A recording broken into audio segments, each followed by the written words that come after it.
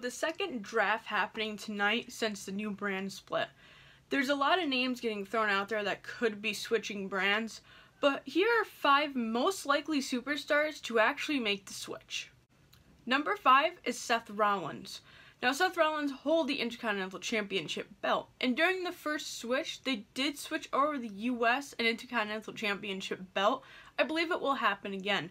Also, this is a perfect way to break up the Shield before Dean returned from injury.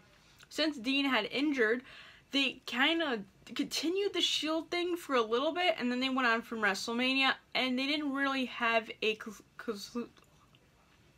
they didn't really have a good ending to the Shield. So I feel like just throwing Seth on the SmackDown is honestly the best way to put the Shield in the past and also give him a new light with a lot of superstars to defend that title against. Number four is Rusev. Rusev needs a switch because on SmackDown he's getting over like crazy. He barely got himself into WrestleMania.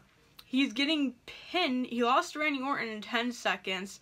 He's not really doing anything other than getting over and having everyone love Rusev Day. So I think it's time for him to go over to Raw, fight some new people, and hopefully Rusev Day will get him a belt on that brand.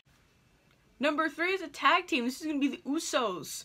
Now, either the Usos or New Day could be in this spot. I put the Usos because I think SmackDown needs a big, big player in the New Day. But I'm going to switch over the Usos because the Usos have challenged everyone in the year that they have been on SmackDown. They've had rivalry with the New Day, Breezango, the Ascension, the Bludgeon Brothers, uh, American Alpha 2.0. They wrestled every single tag team that SmackDown has to offer. And of them being at the peak of the game, they need a brand split so they can continue at the high level that they're at. And they're probably going to take out whoever wins the tag team titles at the um, Greatest Royal Rumble of all time. And that will be where I see them going into. Number two is The Miz. The reason I throw The Miz into this, I think that SmackDown will need another A-list player. Little hint there on his name. And Daniel Bryan is back in action. This is the main reason I want The Miz to switch. As we know, Miz and Daniel Bryan had a heated rivalry when Daniel Bryan was just the GM and they could not do anything against each other.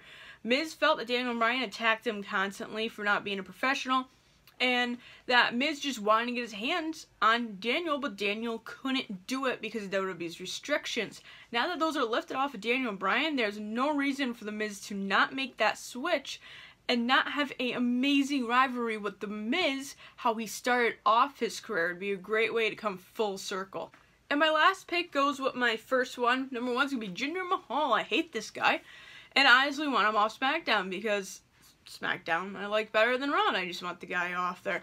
Honestly, Vince loves him. I don't know why. I mean, he's a steroid junkie that can't wrestle. If you notice, during his first reign, they only gave him two matches on SmackDown throughout his entire run. They only had him cut promos because they don't believe of him as a wrestler. They just wanted him to get over because they wanted to draw bigger in the Indian crowd, especially since they're going to the greatest Royal Rumble it would be smart to throw Jinder on Raw, give him more of a push a little bit, I guess. I don't he doesn't really need a push at all.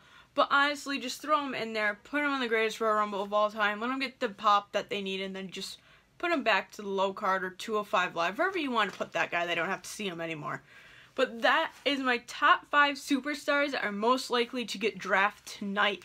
Let me know what you think about my list and your list down in the comment section below. Like this video and subscribe because as always, more to come.